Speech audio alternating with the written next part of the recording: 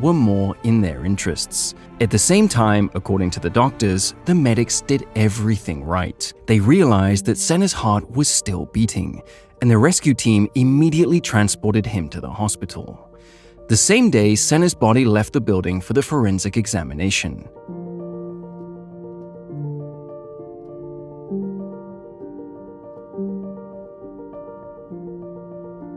He was transported to Paris by a plane specially provided by the